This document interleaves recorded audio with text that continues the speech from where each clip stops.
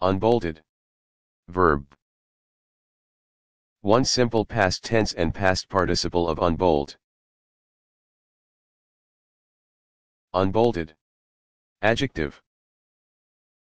1 not fastened with a bolt. 2 not sifted. For example, unbolted flour.